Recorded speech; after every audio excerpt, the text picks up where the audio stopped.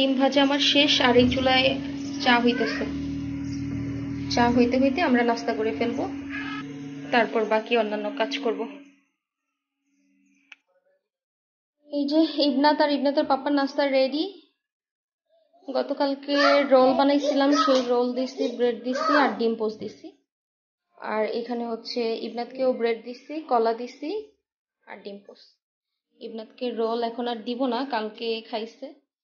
সেই জন্য আসসালামু আলাইকুম সবাইকে, কেমন আছেন? আশা করছি খুব ভালো আছেন আমরা অনেক ভালো আছি। প্রত্যেক দিনের মতো আবারও হাজির হয়ে গেলাম আপনাদের মাঝে নতুন একটি ব্লগ নিয়ে। তো সকালের নাস্তা প্রায় শেষ সবার ইবনাতের পাপা নাস্তা খাইছে আর ইবনাত ওই যে সোফার মধ্যে বসে বসে খাইতেছে এখনও। আর আমার নাস্তা খাওয়া শেষ, এখন আমি দুপুরবেলা রান্নার প্রসেসিং এ চলে যাব। দুপুরবেলায় আজকে একটু আগে আগে রান্না করতে যাব, কারণ প্রত্যেক দিন আমার রান্না করতে একটু সময় লেগে যায় বেশি। যাই দেরি করে রান্না করতে করতে আরও সময় লাগে। সেই জন্য আজকে আগে আগে রান্না করতে যাব। আজকে না, শুধু আজকে থেকে প্রত্যেক দিনই আগে আগে যাব রান্না করতে। ঢেলে ফেলি এখন।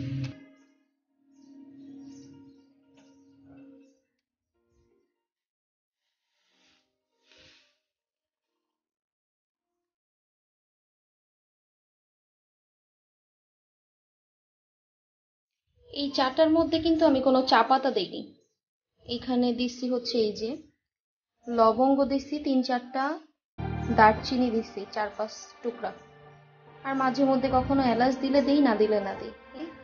করোনার মধ্যে এই মশলা পানিটা খেতে খেতে আমাদের কেমন একটা অভ্যাস হয়ে গেছে, এর জন্য আমরা এখন এই মশলা পানিটাই খাই। ইবরাতের পাপাকে দিয়ে আসি চাটা।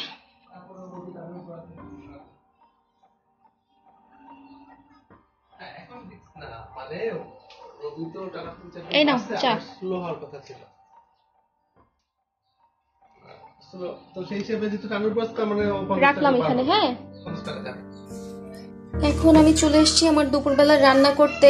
আজকে রান্না করব শোল মাছ ভুনা। তো শোল মাছটার মধ্যে আমি আদা বাটা রসুন বাটা জিরা বাটা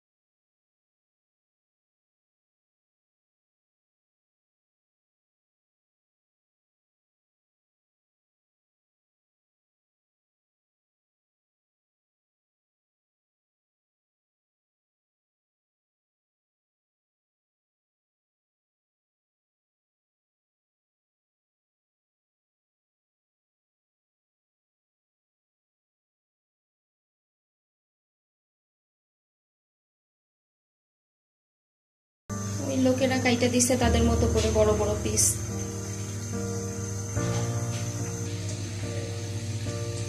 ওই চুলায় তরকারি হতে হতে এই চুলায় আমি লাউ ভাজিটা বসায় দিছি। এই যে মাছটা রান্না করা আমার একদম কমপ্লিট হয়ে গেছে, এখন বেড়ে ফেলব।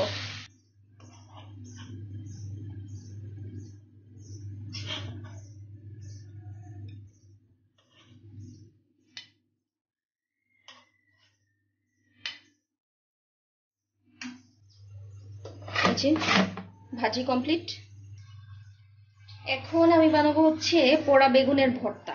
এই বেগুনটাকে আমি এখন চুলার মধ্যে দিয়ে পুড়ে নিব। কয়েকটা সিদ্ধ করে দিলাম, তাহলে আর ভয় থাকবে না।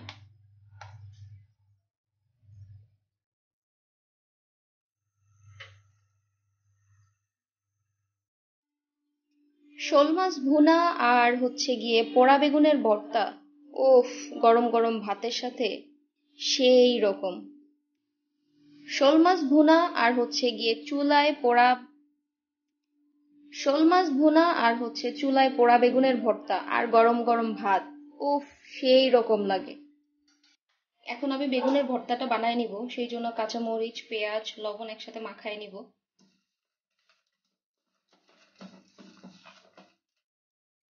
এখন দিয়ে দিচ্ছি একটু সরিষার তেল। পরিমাণ মতো দিব।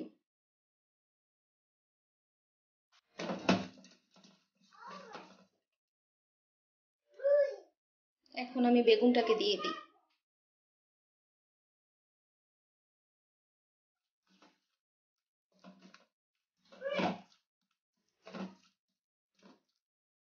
এখন দিয়ে দিব ধনে পাতা।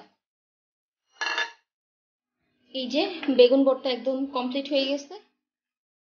তো আমাদের এই যে দুপুরবেলার রান্না বান্না সবকিছু কমপ্লিট এখন বেগুন ভর্তা, শোল মাছ, লাউ ভাজি সবকিছু দিয়ে খেয়ে আপনাদেরকে বলতেছি যে কেমন হয়েছে।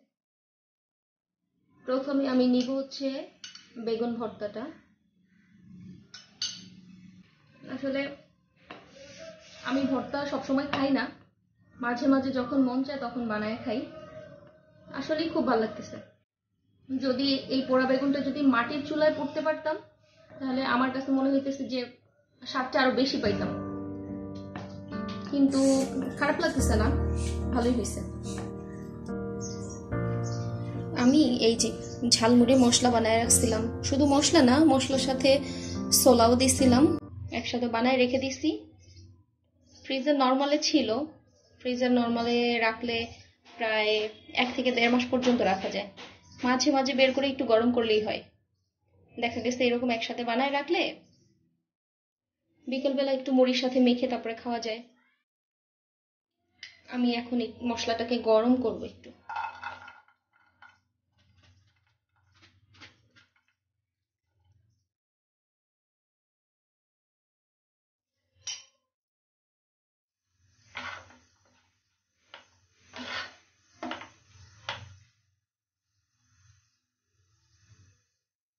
হুম, কি সুন্দর একটা ফ্লেভার আপনাদেরকে আমি ভাষায় প্রকাশ করতে পারব না।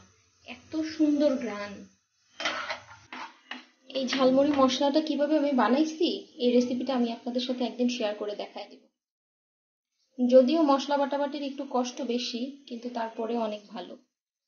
ঘরের বানানো জিনিস আর বাইরের কেনা জিনিস তো অনেক তফাৎ। ইবনাথ কি করো? বসে আছো? পাকনা বুড়ি একটা। গাছগুলোতে পানি দিতে হবে। হ্যাঁ তুমি তো ভালো মেয়ে। তুমি অনেক ভালো।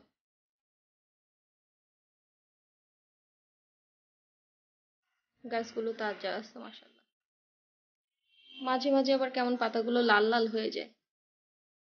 যত্ন করতে হয় আসলে। যত্নের উপর সব জিনিস টিকে।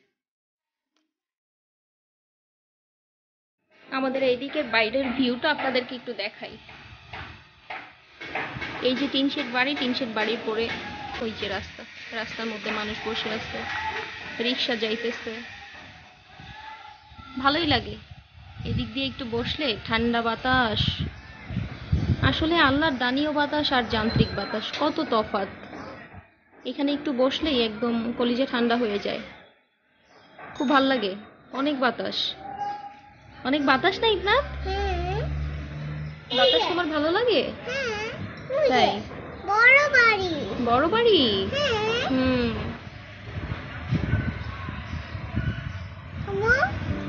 তো ভিউয়ার্স আর কথা বাড়াবো না। আজকে এই পর্যন্তই। সবাই ভালো থাকবেন সুস্থ থাকবেন। আমাদের জন্য দোয়া করবেন।